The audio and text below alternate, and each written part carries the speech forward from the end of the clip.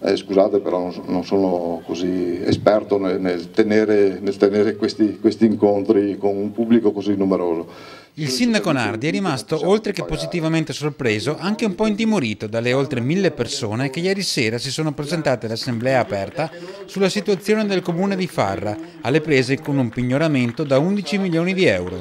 Una situazione che sta bloccando tutto, ad iniziare dai servizi ai cittadini più deboli, e il sindaco lo spiega senza tanti giochi di parole. Abbiamo degli anziani, una quarantina di persone che noi assistiamo a casa, ai quali ogni giorno viene conferito uh, un pranzo che generalmente si fa in modo che basti anche per la cena, c'è una cooperativa che va a trovarli, che li pulisce, che pulisce vuol dire che la gheneta a cacca dal trio, fa fortuna, ecco questo.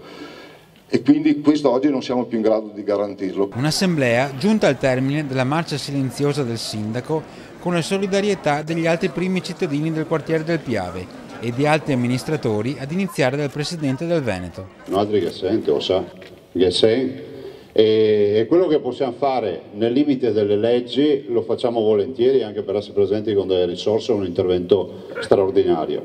Al di là della solidarietà resta l'amarezza per tutta la situazione. Però questo atto non era dovuto perché siamo in prossimità, della, e questo lo sapevano tutti, in prossimità da parte della Cassazione del responso dell'esito della sentenza. Io personalmente lo, chiedo, lo, lo, lo ritengo una cattiveria nei confronti della comunità chi ha deciso questo doveva pensarci bene prima. Una marcia è un'assemblea per chiedere a chi vanta diritti di accettare una mediazione e a chi ha deciso di mettere all'angolo una comunità di tornare sui propri passi.